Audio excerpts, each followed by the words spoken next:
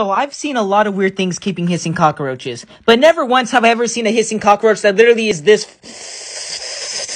fat and oh my gosh, what is coming out of your booty? Why is it yellow? This makes no sense.